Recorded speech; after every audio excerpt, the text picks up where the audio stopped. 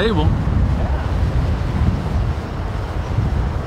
You've had some good gusts and it stayed pretty stable, right? It's really blowing up.